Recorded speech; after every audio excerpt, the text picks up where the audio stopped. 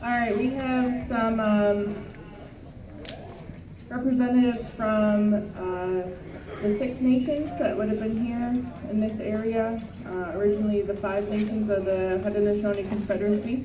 Uh, we have some uh, Onondaga people, the Senecas. Uh, Darwin, who's from the Wolf Clan, and Al from the Heron Clan. Um, and they are from the Seneca territories, and Elmer here is Hawk from the uh, Seneca territory also.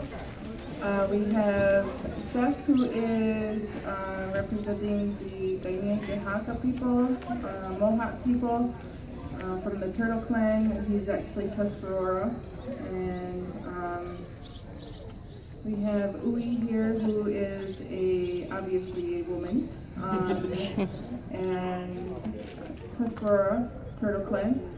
Um, and then we have a Shawnee gentleman. There would have been uh, participants from the south, natives from the south, uh, fighting here also.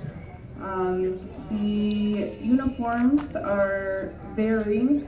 Um, we have all of these gentlemen are heavily, what they're wearing is heavily influenced by the trade.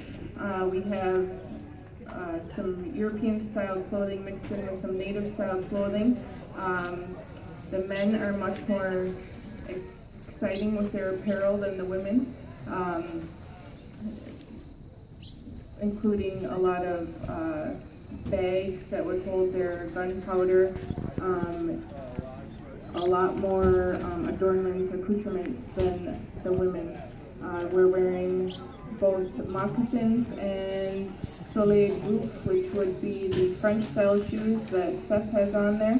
Uh, the leg leggings are wool and leather and are tied back with a hand-woven garter, which would be very common in this time period. Um, you can see the breechcloth, just itty bitty piece of wool there, and uh, some body paint, which would have been done with some vermilion or charcoal. And then the hairstyles would have been, um, if you see mine, I have, a woman would have worn it in a club style, and the men would have um, a scalp lock, which is just a little taunting piece of hair um, on the top of their head.